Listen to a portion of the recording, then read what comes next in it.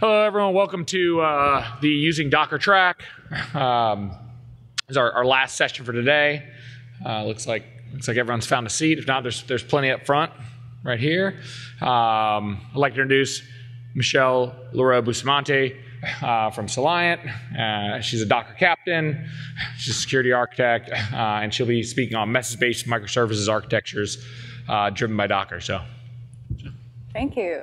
And thank you. Okay. And he just said the magic word. There's a party after, but I'm the last session and I can go as long as I want. Some of you aren't laughing. What's up with that? Okay, so, right, so I'm Michele. Uh, nice to see you all. Um, I do uh, a number of different things. My company, Solliance, I run a security and microservices practice. Uh, those are actually separate practice, but they commingle quite a bit. Um, we build a lot of solutions for enterprises from the design through production, you know, story all the way through on Amazon Azure, on-prem and hybrid. And the reason I tell you that is because what I have noticed, and we all have noticed, the team, is that there seems to be a common thread, which is, you know, companies are more and more embracing this whole idea of message-based architectures for many reasons. And some of those reasons are the things that I want to talk about in this session. Um, and I'm kind of excited about that because even though it is work, so yes, there is work involved, um, I do find that there are a lot of benefits on the other side. So I'm just hoping to inspire you to think about this architecture, understand why we like it, understand certainly some of the challenges, which we'll touch on at the end, um, but understand how we go about making that a productive development cycle as well. So I'm going to start with, you know, just an overview, and then we're going to get into design thinking, and then we're going to get into the reasoning about the events and messages, followed by a demo where I'll talk about local and then to production, and how that might look in one technology stack, because obviously we could do this with different technology stacks, right?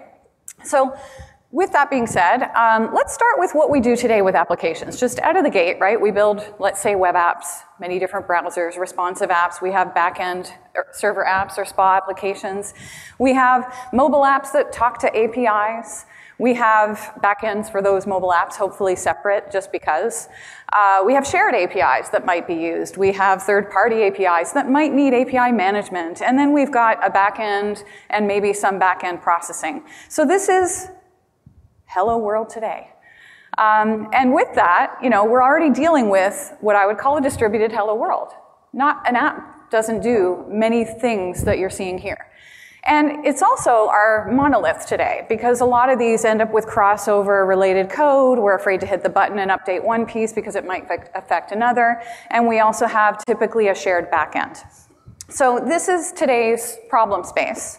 And therefore, I guess my point is that it's already complicated, right? We're already dealing with a lot of things out of the gate, understanding distributed systems. And so adding microservices, well, it does add more of those things, and yes, there are additional complexities, it also brings tooling and operational procedures and practices that try to help us with doing that better. And so you know, the, the principles of microservices help us to surmise, you know, how would we manage more of those things while we're already dealing with distribution. Now, in addition, microservices leads us toward a model whereby services truly own their own data backend. And these silos are created so that we can deploy you know, seamlessly pieces of the application and client without touching other parts of the system. That is the mission it is all of our mission if we embrace this architecture, just microservices itself, right? And there is a liberty that comes with that because now the business can hopefully benefit because all they really want is more features more frequently all over the place. And they're afraid to do it because of the regression testing and problems. So we can maybe get a little better at that with these better operational procedures and these better tooling and practices. And so ultimately, what we're giving them is that story, right? An improvement to that story. And hopefully, not such a fear to hit the button and deploy updates, which is our goal. So we're looking for better practices. We're looking for visibility in production. We'd like to know when things are going wrong. We'd like to understand what happened, which means we need instrumentation, we need logs, and arguably messages can play a role in that as well. On the business level, for example, what's been going on, what activity is taking place. So with that, you know, what we're looking for really is benefit to the business. All of these things we've done, including operational procedure improvements, more reliability with deployment, better uh, release cycles so that they can be more rapid and co-evolve features across your solution, helps the business. And then everybody's happy. They dance, maybe not quite that well. So we haven't yet, though, solved in this discussion the distributed data problem. So great, we have these silos, these services that own their backend and their data, but we still need to deal with the fact that data is going to be distributed. And it's going to be even more because there's more microservices. So let's talk about the history of that, right? If you think about SOA, yes, I said that word.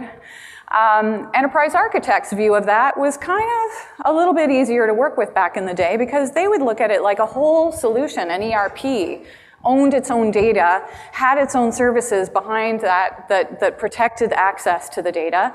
CRMs would do the same, CMSs would do the same, and they'd integrate these things with these, you know, BizTalk servers or other related things.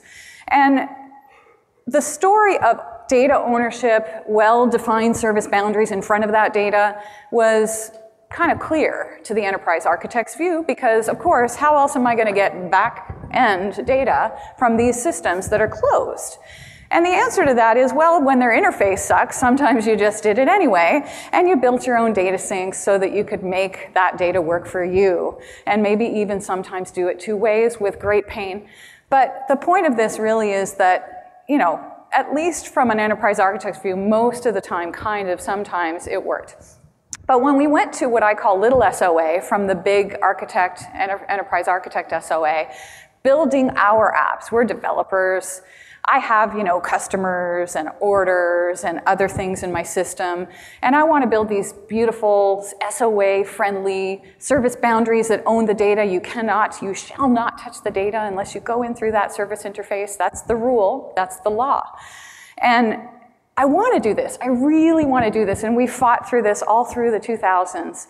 But we ended up with relations. And that relational data was unfortunately um, difficult to get away from, right? Because customers have orders. I need to do queries. They need to be efficient. It has to work. So we did what we had to do, and we felt very bad about it. Um, because this, right?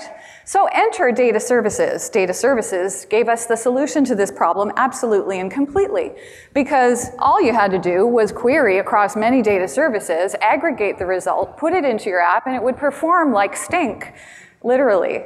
Um, so maybe not such a good idea. So instead, we accepted our transgressions and said, you know what, let's just stick with the queries on the back end. And we'll make a well-defined service interface that at least defines the way we're using the data, if not protecting access to the store. I tell you this story because this resonates still today with microservices, right? We have to still deal with, and even more so, this distributed data problem. And there isn't one magical solution to that problem, right? I mean, clearly there are going to be areas in the system that work you know, with that and work with, and others that do not work with it. Some that absolutely require ACID transactions and others that can live with eventual consistency.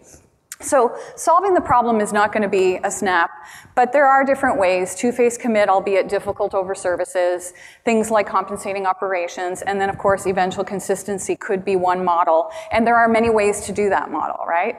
Um, so what I want to focus on is just the eventual consistency story. Let's just say it together. Embrace eventual consistency. Or we don't have to say it together. I just said it. We're done.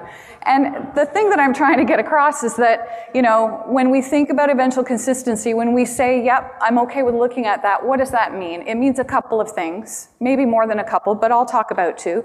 And that is services that own data eventually may need to share some of that change with some other service, right? Because the data is somehow related.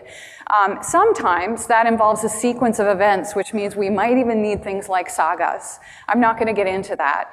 But, you know, it can be that there are these patterns that help us solve those problems too. In the meantime, just looking at it, you know, from a high level, eventual consistency does mean I need a way to get that fact that data changed, let's call it, to another place. So that's the thing. Um, when we look at aggregation, it's the same problem. I need new views into the same data. How do I achieve that? I do that by projecting somehow, again, the fact that something happened gets replayed elsewhere, right? I could do this even from a back end, you know, just with data triggers, but the problem with that is you don't really have visibility at the business tier that all these things happened, and that's kind of important too. So that's why we like events. Now, an interesting thing happens when you decide eventual consistency could work, and it may not work everywhere. Let's just take the opportunity to say it could work.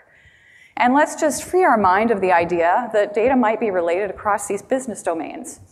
I'm now able to design without the constraint of all those problems. Because guess what happens when you're doing design and you think, oh, but that's related to that. How are we going to do this? It's a mess. And it's really impossible to get through design and make decisions when you're worried about the other side. You have to think about first the domains. And that's what microservices principles and guidance teach us is that you go first to the, the solution, the enterprise, whatever it is you're trying to co-evolve or change or migrate. Uh, you want to break the monolith and you take a new look at the domains, right? Those domains could be like this with customer and product and shopping carts, could be other things in your business.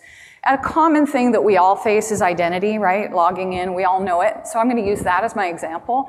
But the point is, even these domains, while they might look like owned domains, and look, I've locked it, this is my blueprint, even each of those I bet you could have different business consumers, which means I might look at orders three, five, ten different ways across the company that need different types of reporting, different types of UI, different types of management cycles and feature cycles. And that's what they mean when they say, break the monolith, look at your domain driven design, and try to figure out your business capabilities. It's about how your business people interact with the, you know, the customer and therefore the back end.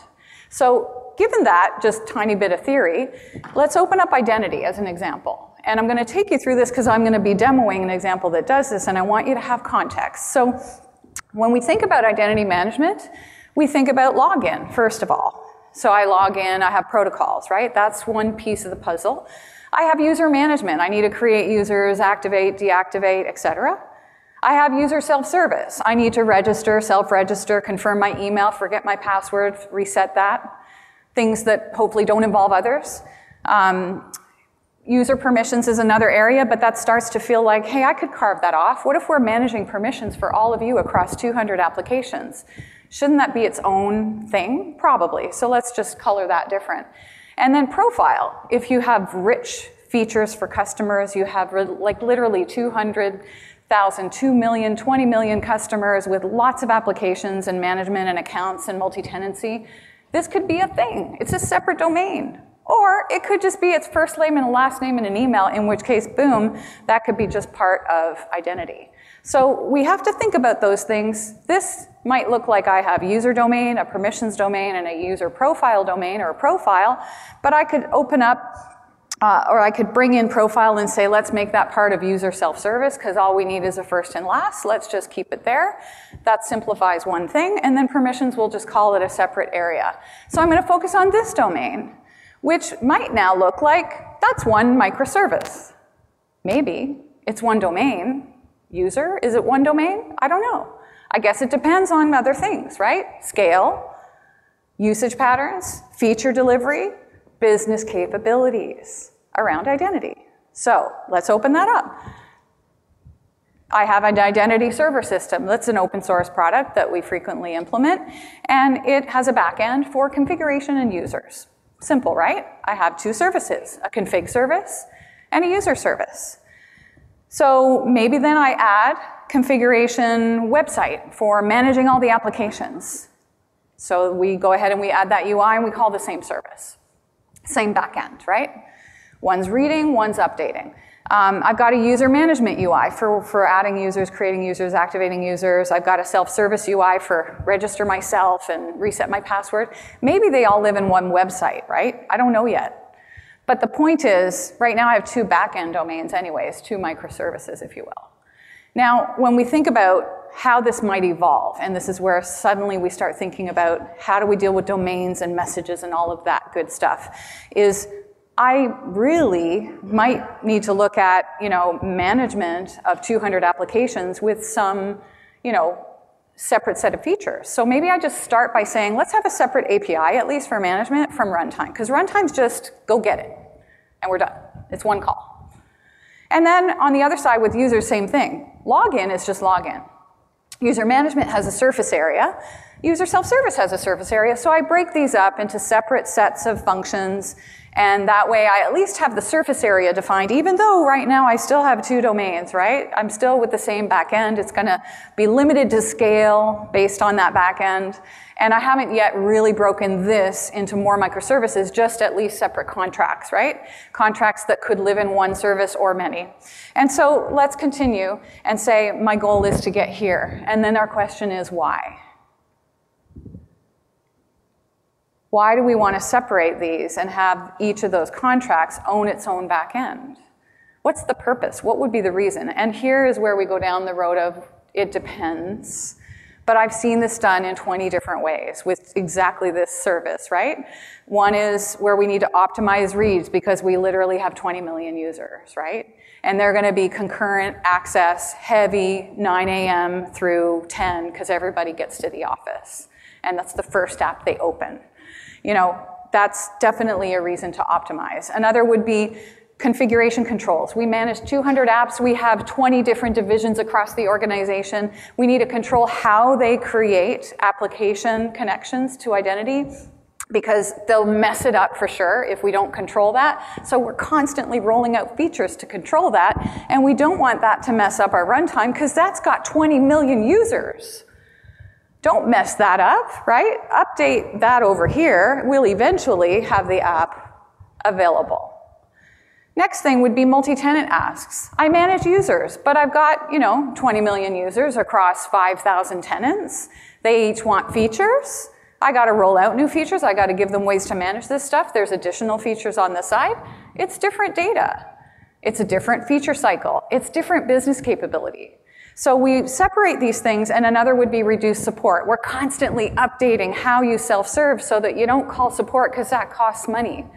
So giving you some sense of ideas, I promise I'm done with the theory almost, but I want to impress upon you that this takes a little thinking.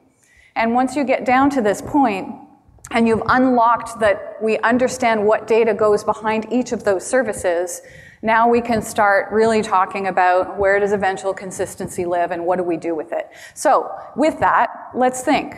I have all those services I just talked about, right? Let's say I want to add an app or remove an app from config. What would that do? Well, it would probably need to update the config runtime. So we do that. How do we get it there? Again, eventual consistency, possibly with events, because that's what I'm talking about in this session.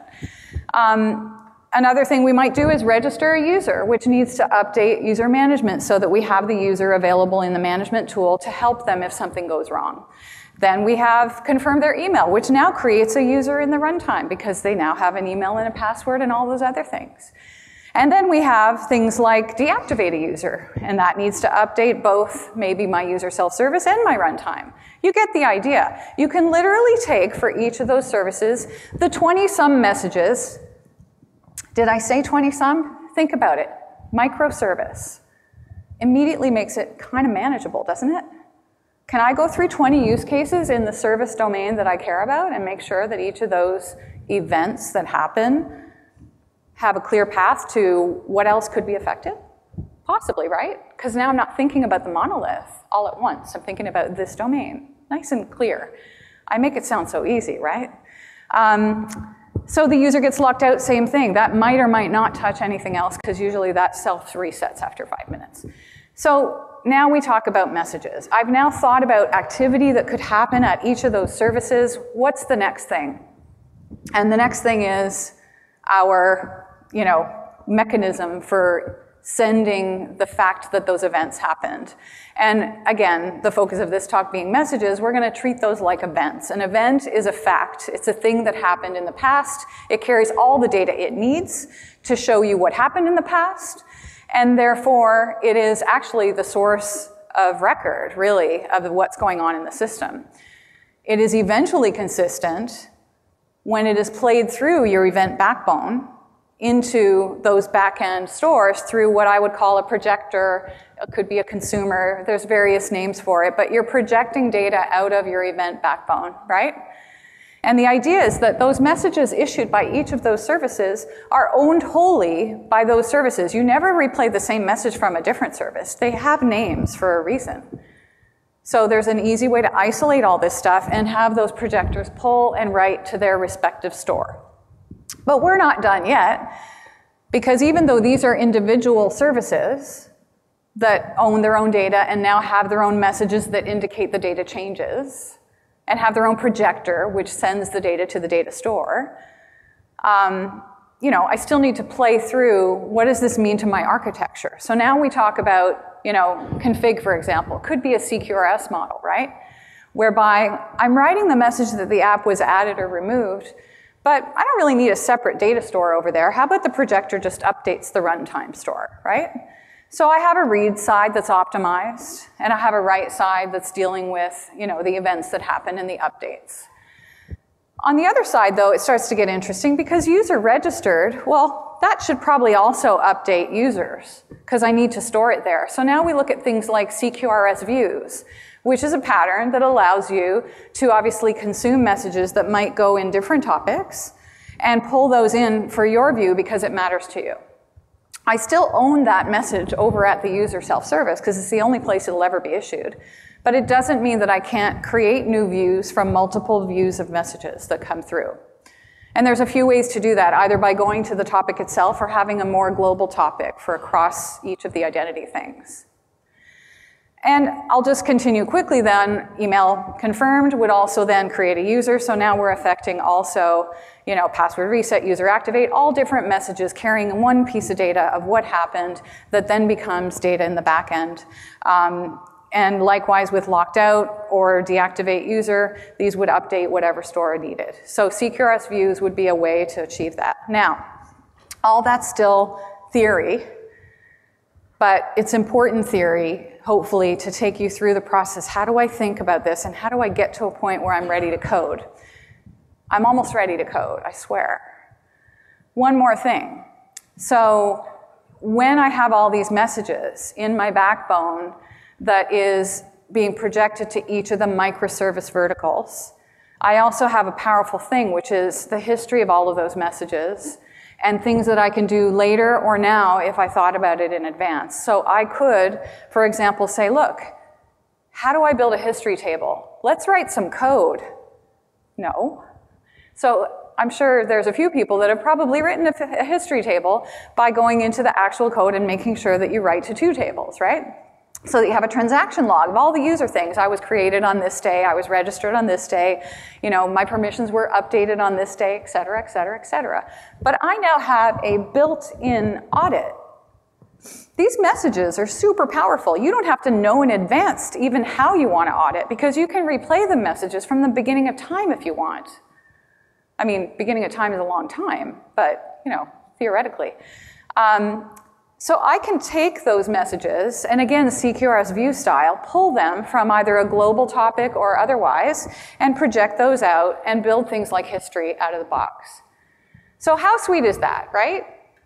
You're never gonna write your applications the same as you do today again.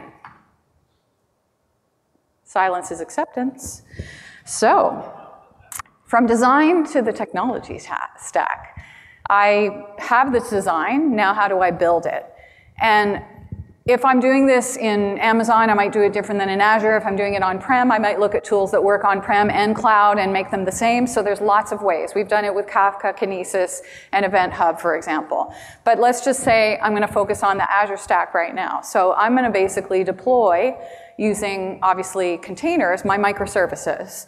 So my microservices will be my Docker containers. That's my web apps. That's my APIs. That's my projectors. Those are all containers that I can manage, deploy, and deal with on whatever level I need to in terms of which ones go together, right, as part of a microservices deployment story. And then I'm gonna do like a Docker stack deploy. So I'm gonna use uh, Docker Enterprise for this demo. Again, there are different stacks that you can use, different container orchestration platforms. I can use this with Swarm or Kubernetes as well. So that'll be my demo in there. And I'm going to use Redis for caching because we need caching and availability for, you know, clustered services, right? Uh, data protection and so on. Um, I'm going to use App Insights for my logs in the cloud because that's native to Azure, so that makes sense. And I'm going to use Event Hub for my event backbone because that gives me interesting things that I want to leverage for this whole event story, like capture. I'll get back to that. And then I've got SQL and Cosmos for a combination of relational or not. And something that's little known about SQL database is that, you know, if you have a single server, and then you build up all of these different tables in a database, you can let Azure scale it out for you. So as long as you have sort of that sense of ownership, which tables and data you know, go together with this microservice, you can still let microservice give you the infrastructure that's shared and still get your microservice story there. So that's the technology stack in the cloud. But here's the thing, I haven't done my dev yet. So now what? Should I go into the cloud and create a dev environment maybe? Get an event hub there, share it with all of you so you can stomp on my messages. Have a database that's not clean and we don't know the state of, so I gotta create all new data. Do stuff like that. Or could I just make a local technology stack with Docker? And we do this all the time. And you know what? It's worth the investment every second. And that's because I can now do a compose up and send a message to all of you, if I wanted, git pull, compose up, and you can build the whole backbone. And it can include, you know, the containers that we need in our whole solution to run. And then you can decide to debug the one you care about. It can run, you know, your Redis back end in the local environment, Elk for logging, because then it's in a container and I don't have to install anything like Seq. Um, I can have my Kafka locally, so I have a real messaging engine to work with. And I can have pgadmin and Postgres to do my data work, and including Marten to do the NoSQL. Now, this is just one way to do it. Choose others, that's fine. The point is, all the time. Once you've invested in doing this, you will never go back. So I can't emphasize that enough. And with that, now I can, you know, show code. And, you know, we're still well ahead of schedule. So, what I'm going to do is start by giving you a, a taste of uh, kind of what we've got going over here. And I am going to run. So, let's take a look at my scripts. You know, again, we're not going to go through every single one of these, but you'll be able to uh, see those later. Um, the point is, we build these scripts that will start up the backend Postgres that will recreate just the backend, because right now I'm doing my development. What I want is backend up, Visual Studio, let's write code. And let's hit the backend, yeah? Eventually I'll do compose up all things. So I'm gonna do that. And when we do this rebuild, what we're basically doing is, you know, building up, oops, I meant to go over here. Uh, things like I have a, a, YAML file for Postgres and it's going to pre-create the identity user and config so that it's there ahead of time. So an important part of this whole local experience is not just having a stack you can work with, but being able to switch between that stack and the cloud, which you'll see in a minute. And in addition, uh, being able to bootstrap the data, because how many times have you had to set up your local environment with a whole bunch of data just to be productive with the solution?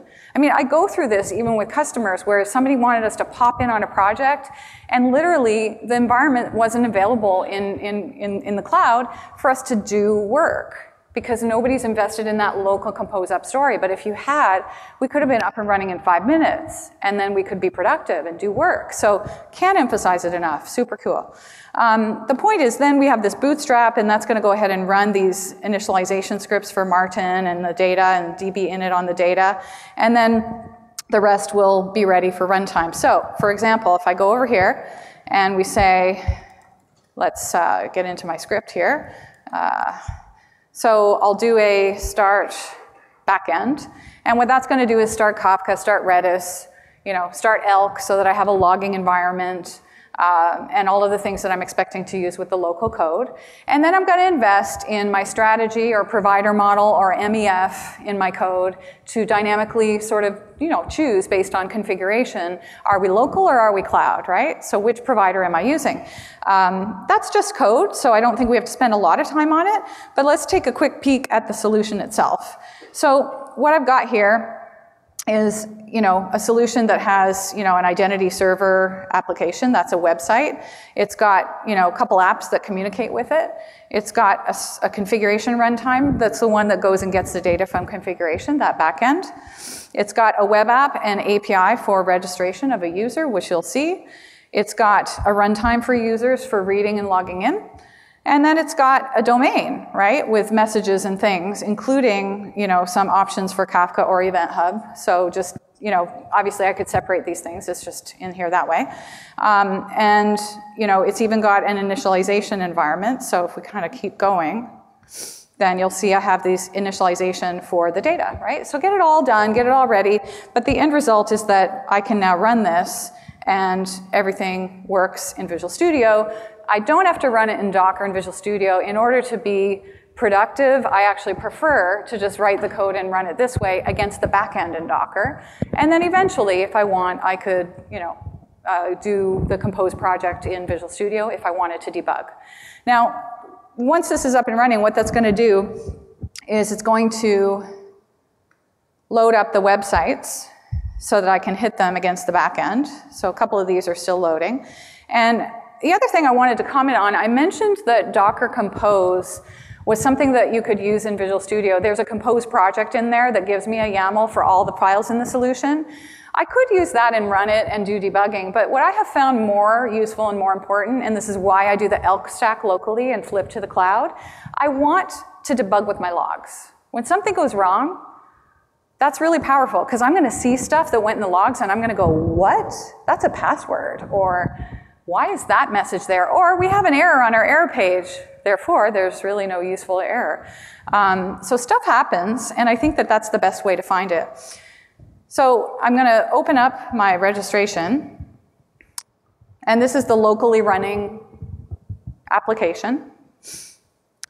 And what I'm going to do is register. So Michele Busta, uh, live demo at gmail.com and we'll call it live demo Busta.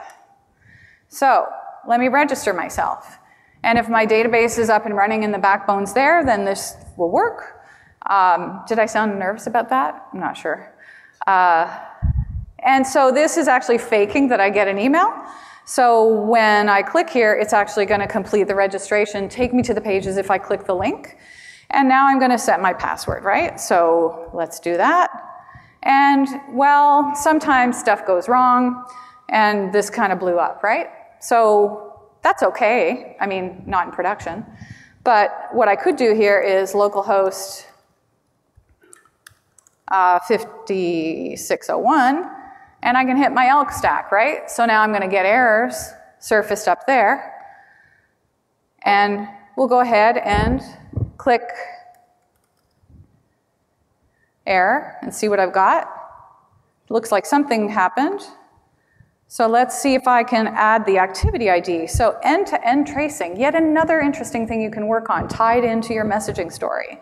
So let's go see what this error produces in terms of end-to-end.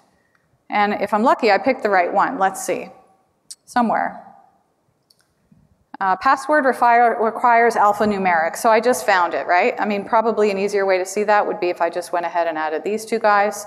And now we can see the whole end-to-end trace, also which other parts of the app it hit. And I can see surprising things like, oh, isn't that a useful log? Really? So debug with your logs, just a tip. And make sure you have end-to-end tracing so you can do this, another tip. And good news is in App Insights, it'll actually do a lot of that for you it'll just stitch it right in. So that's pretty cool. Now, I've solved my problem. I just need to go fix it over here. So let's go ahead and type a good password. And that will do the reset. And then now I should be able to log in, which means the eventual consistency story of putting that user into the database should have worked. I'll show you that running, and then we'll come back. So we'll do Michele Busta Plus uh, live demo. And click it over here. And it looks like I got in, okay? So with that, Um, one of the things that I actually had started here, which I guess it didn't hit the breakpoint for, is in my user profile here, I should hit a breakpoint. Um, I probably had already run it, so it didn't run again.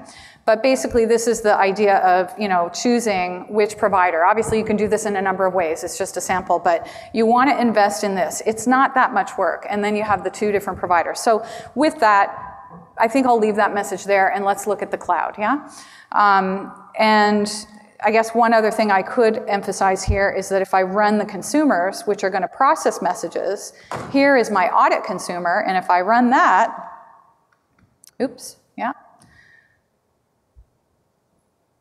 I think I ran step into instance, which was, you know, not necessary, but it'll get there. Okay, so, and this will just show, again, I've obviously got config settings that are telling it go to Kafka, and so it'll start pulling those messages, whatever it was that I just did, and produce those, uh, which should get them to a database, right? So it'll do an insert. So this is just illustrating that output, right? So point being, I don't need you to set up a backbone in the cloud. I can use Docker and all of its goodness locally, get all that stuff done, all good. And now I'm going to stop this guy, close this app, stop all. You can do it. Come on. Apparently, didn't get the memo about stop. that was a nervous laugh, wasn't it? yeah. I think I said yes. Okay, so the reason I wanted to do that is because in uh, this list of things that I have here, I have a stop um, backend, and then I have a start all. I'm not going to wait for it, but the point is you want to invest in that too. Start all the things, backend, all the apps. Let's see if everything's working with Docker so my DevOps people can get a good experience. So that's the idea. Now let's move over to our environment in the cloud. So I've done all this development. I've invested in a local experience. I've tested swapping that so that it'll work in the cloud. Right now I'm, you know, deploying all my containers that are doing the front end web app API. The ones that are writing the events are usually the APIs, right? So these are my Docker containers. My backend that pulls the messages are projectors that are pulling from the messaging backbone in my Docker containers. It looks like I have a bad one, but we'll come back to that. And, you know, from in here, I can go to my profile web and I can try to do the same experience and see that everything's working in the cloud. So if I come up and say, Michele Busta, and we'll call this a live demo EE, and we'll just go ahead and register, and we will complete the registration, and I might as well set my password. So that's all done.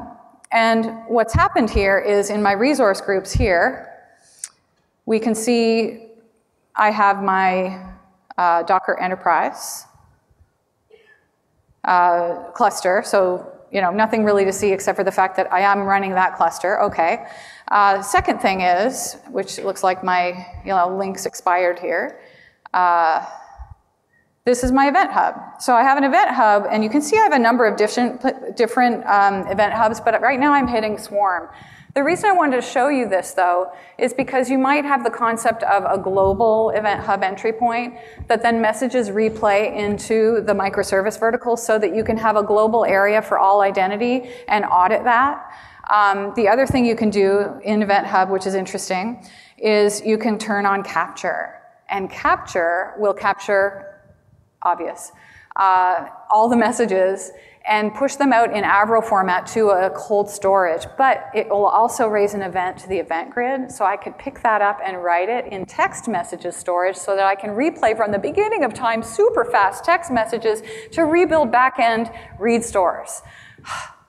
So that's a really nice feature of Event Hub, which is why I tend to use that instead of a service bus for this type of thing, because we want to have capture for all messages for all time, and we don't want to maintain it as a Kafka cluster or some other thing.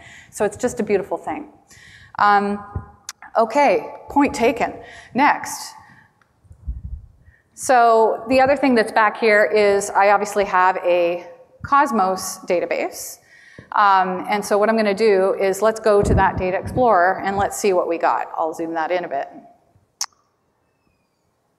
Okay, so in my uh, audit, what I can do is do a new SQL query, and I can see, or actually user history, sorry. Let's do that one. And let's see if I've got anything where uh, first, let's see what it looks like at all. So these are my messages that are projected from history and audit. And so I'm going to look for the email that matches my name. So I'm going to say where c dot email equals, and it was Michele Busta plus live demo ee at gmail.com. And we'll go ahead and execute that query, but I don't see anything. And the reason I don't see anything, obviously, is because that projector is down. So this is where we get to talk about what happens when things go wrong, right? Projector's down, I need to be alerted about stuff like that, especially if it's mission critical eventual consistency. I also need to maybe monitor the data store when we expect things to write more often and it doesn't. There should be a trigger for that too, because what if I don't get notified of the connect of the projector? So stuff like that still becomes important um, and certainly a discussion for a time. And if I go back to my local here, and in my Docker EE do a demo PS, what that's going to do is it's going to redeploy everything with the correct configuration. So I have a misconfigured something, right? This is my latest state of, of config. And it's going to go ahead and update all those services. And while it's doing that, I'm going to head over and look at my other you know, projector, which is the audit projector. So my audit projector also has a query. And it should have received messages, hopefully, if I've done anything interesting in the website, right? So let's say uh, in my, you know, website, what I'm going to do is go to identity and I'm going to try to log in. So I'm going to go Michele Busta at plus live demo ee at gmail.com and we're going to do a bath password. And we're going to do that a couple times. And we're probably going to get locked out because that's what happens. And so let's see what happens if I do one more. And then I head over to audit and I collect where email, or sorry, username, c dot username equals Michele Busta dot plus live demo ee at gmail.com. And we'll give it a run. Looks like it found me. So what we're going to do is, since not everybody has a username, not all the messages have a username, but what I really care about is the ID. So I'm going to say select c dot underscore underscore message type from c where we've got subject ID, which will be in every message, equals that. And you see user login failed, failed, failed, lockout, etc. Okay? Now, if my deployment has completed, then I should also be able to go back here, see the result, and it's there. So history will have other messages as well related to user registered, signed up, etc. And that's sort of how the architecture and the moving parts works. Those are the things I'm managing in the deployed cluster um, that obviously have other things we can discuss about, right? So, um, that's that the demos worked. That's awesome. Okay. Uh, do i sound surprised? Hey because you know 40 minutes people. Okay. I'm just to throw that out there. Um, and didn't practice at all. So uh, So one of the things that's interesting too when you look at the micro level is remember, when you're trying to manage all of this stuff, once you've found your business capabilities, get a team around this stack this domain. And now you're dealing with what's the API service? What are those messages? They only ever come in one domain. Uh, what is the topic it will go to that's the microservice topic, even if there's an overarching global? Uh, what are the projectors we need, therefore, one projector? Are we doing any CQRS views to pull messages from other places? And then the data. And that replays over and over and over. So it starts to feel more manageable and it really gives you that business value. Audit and history are just one couple of pieces, right? Um, is this a lot of work? Yeah, it is. But here's the thing coding is hard.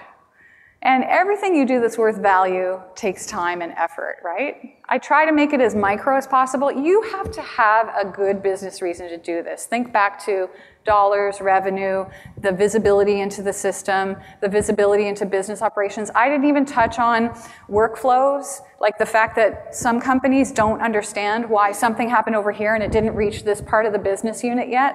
And you can take those messages, and when you have time, emphasis on when, not if, you will go back to those messages and build new projections that start showing the business, hey, this thing started over here, but usually by tomorrow the message hits here and we do this other thing, so our state for that workflow is off. How powerful is that if you have the messages already? And all you had to do is think about events that happened in your system on the micro level. That's all. People. No. So it has to work. You have to test it. Projectors could get poison messages. You have to be prepared. And here's the thing you're going to just hate me for before you go, if it's not the fact that I might be over three minutes.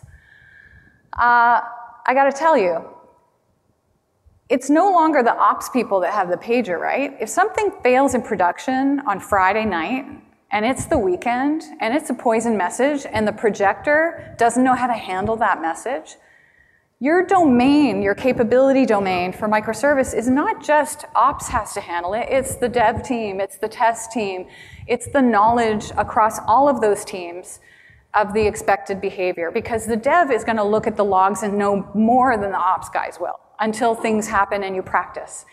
But the other thing about making it work is you should do drills first, right?